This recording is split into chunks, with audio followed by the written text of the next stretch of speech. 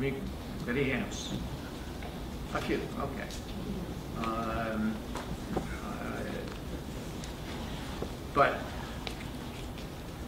you know, that's been, uh, uh, everywhere I go in this area, uh, when I ask that question, uh, uh, you know, I get uh, no hands or few hands.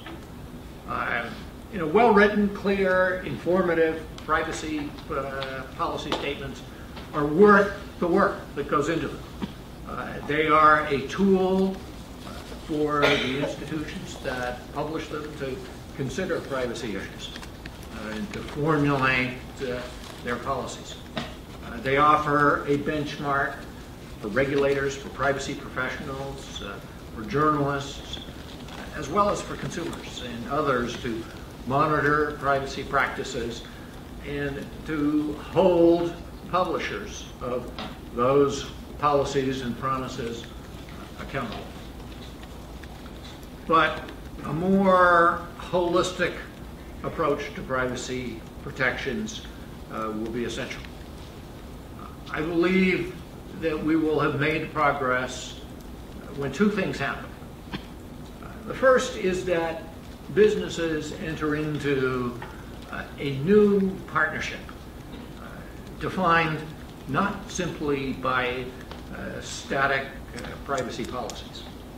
And we seek to, through our uh, privacy principles, to provide tools uh, and mechanisms to make this possible.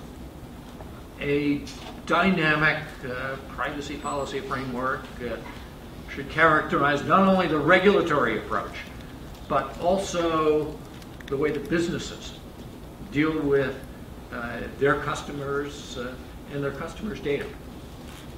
Businesses need to enter into a conversation uh, with their customers uh, that will enable consumers to make uh, trade-offs uh, between privacy and commercial or social benefits uh, uh, from the use of their information through active choices and not through a one-time click. One example is uh, a just-in-time uh, approach to privacy notices. Now, these need to be contextualized so that consent forms uh, don't become the next form of uh, pop-up advertising uh, uh, that simply frustrates rather than informs. But you know, let's see businesses uh, harness data analysis in the service of privacy. Uh, so that the same kinds of correlations that identify uh, consumer preferences uh, uh, for content or for products uh, can be used to understand privacy expectations. So that can inform contextual notices and inform business decisions about changes in their privacy practices. Transparency is one important tool. Another example is the work of uh, browser developers, standards developers, advocates, and others uh, to provide options for control of tracking. Do not track is the kind of solution that's well suited to a multi-stakeholder process. The second thing that needs to happen uh, is for privacy and security to be integrated into the ways that companies plan their products and services uh, and the ways that they design applications. Uh, they need to make considered decisions taking into account co- consumer expectations uh, about what data they need, how they will use it, uh, how they'll ensure its quality, how they'll keep it, and what they'll do with it when they're done. We know that you know, there are impressive capabilities uh, to search out unforeseen uh, correlations uh, from unrelated data sets. But you know, this should not mean uh, that data uh, has to be uh, vacuumed up indiscriminately without regard to how it's collected, used, and retained. Under a dynamic policy framework. Businesses uh, should be able to compete uh, openly on their privacy offerings uh, and empower their customers uh, to take responsibility for their own information.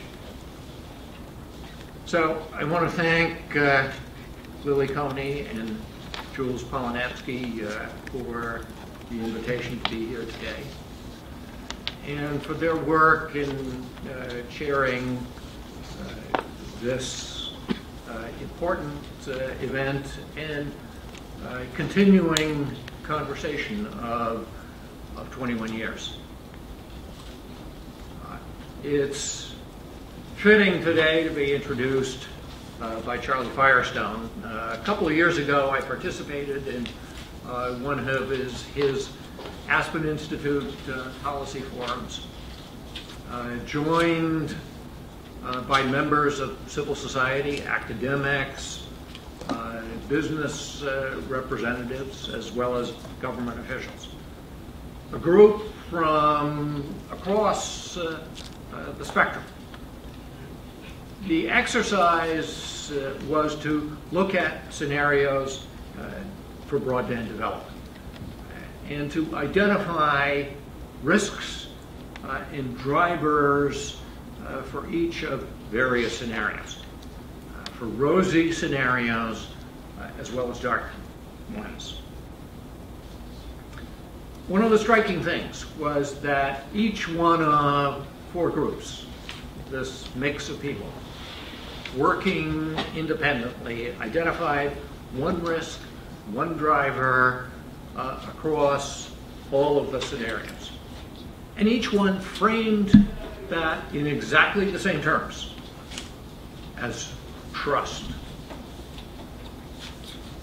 A safe and trusted environment would promote broadband growth, and events like visible uh, security and privacy breaches would undermine it. Some of you may have heard me tell the story of this forum before on other occasions, but what I would say to you today is that we are closer to a darker scenario.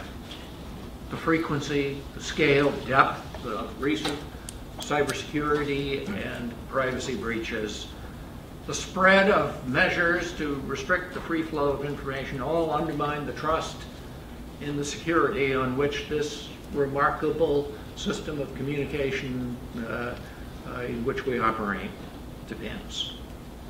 As we move to a cloud computing world, research shows that the principal barrier to adoption of cloud services uh, is confidence in security and privacy. It harks back to the early days of e-commerce when key barrier uh, was confidence in the security of credit card transactions. Technology in the form of secure connections and end-to-end uh, encryption overcame that barrier.